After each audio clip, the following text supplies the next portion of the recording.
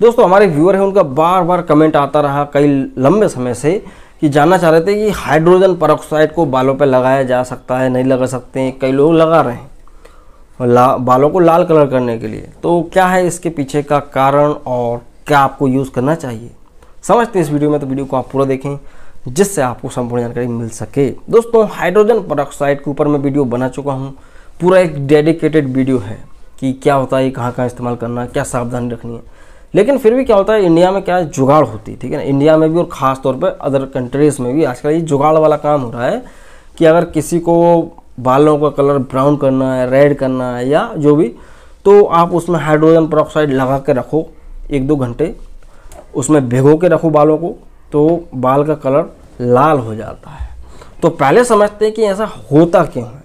दोस्तों, जब भी किसी कोई व्यक्ति अपने बालों में हाइड्रोजन परऑक्साइड डालेगा तो होता ये है कि देखो हाइड्रोजन परऑक्साइड तो क्या है एक डिसइनफेक्टेंट है ठीक है ना? डिसइनफेक्टेंट है। ठीक है तो ये क्या होता है? चीज़ को साफ़ करता है। इसके अंदर से ऑक्सीजन रिलीज़ होती है तो ये थोड़ा सा क्या बुलबुले छोड़ता है।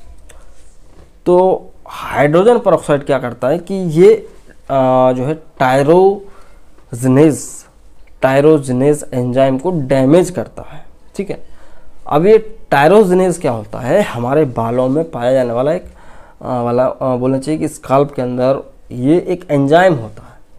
इसको डैमेज करता है। और ये जो एंजाइम है ये डिपेंड है किसके लिए? आपके बालों के कलर के लिए आपकी स्किन के कलर के लिए। मेलेनिन प्रोड्यूस जहाँ से होता है मेलेनिन का क्रिएशन जहाँ से होता है। मेलेनिन एक पिगमेंट है जो कि आपके बालों के कलर और आपकी स्किन के कलर को डिसाइड करता है। तो जब जब ये मेलेनिन के कॉन्टैक्ट में या बोलना चाहिए कि टायरोजनेज के कॉन्टैक्ट में हाइड्रोजन परऑक्साइड आएगा तो वो डैमेज हो जाएगा और फिर उसका कलर क्या होगा? फेड हो जाएगा। मतलब कि जो बाल हैं, वो ग्रेस हो जाएँगे मतलब वाइट होने लगेंगे। ठीक है ब्राउन तो दूर की बात है मतलब कि बालों का कलर उड़ जाता है एक प्रकार से, आप इतना मान लो। तो ये जो प्रक्रिया है, इसका कई लोग फ़ायदा उठाते हैं उनको बालों को कलर करना। देखो कलर करना अच्छी बात है, कोई दिक्कत नहीं, क्योंकि इसका कोई साइंटिफिक स्टडी नहीं है। कि आप करो या ना करो। देखो, वो तो एक उसका साइड इफ़ेक्ट बोल सकते हैं आप कि बालों में आप लगा रहे हो तो उसका साइड इफ़ेक्ट है। तो उस साइड इफ़ेक्ट को आप एक बेनिफिट की तरह भी देख देख सकते हैं। लेकिन आपको लगाना चाहिए, नहीं लगाना चाहिए। देखो, जो चीज़ जिस चीज़ के लिए नहीं होती है, वो आपको काम ही नहीं करना चाहिए। आपका जो हेयर्स हैं, उनके अंदर जो एंजाइम है हेयर फॉलिकल्स के अंदर, उस एंजाइम टायरोजेनेस को ये डैमेज कर रहा है। ठीक है? सही नहीं कर रहा है डैमेज कर रहा है। फिर होगा क्या? धीरे धीरे फॉलिकल्स वीक हो जाएँगे रूट्स कमज़ोर हो जाएँगे, बाल झड़ने लगेंगे, यही सब होगा ना, अगर आप ज़्यादा यूज़ करेंगे तो। तो लगाने के लिए ऐसा कोई रेस्ट्रिक्शंस नहीं है, लेकिन ना लगाएँ तो ज़्यादा बेहतर है, क्योंकि सही नहीं है ये चीज़। ठीक है तो ये है क्या? इसका कारण कि भाई ये बालों का कलर लाल क्यों कर देता है? ठीक है तो आई थिंक आप आप समझ गए होंगे। कोई ऐसे कोई साइंटिफिक स्टडी नहीं कि आपको लगाना चाहिए, नहीं लगाना चाहिए।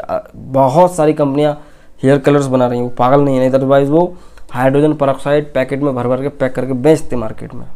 ठीक है? समझ में आ गया बात? समझ में आया तो प्लीज़ से लाइक करें। अगर आप मेरे चैनल पर नए तो चैनल को सब्सक्राइब करें, जिससे मुझे मोटिवेशन मिलता है और आपको वीडियोस मिलेंगी समय समय पे। ठीक है? तो आप देख रहे थे ज्ञानी द मेडिकल चैनल मैं हूँ शिवम तो मैं मिलता हूँ अगले दोस्तों। जय हिंद बंदे मातरम।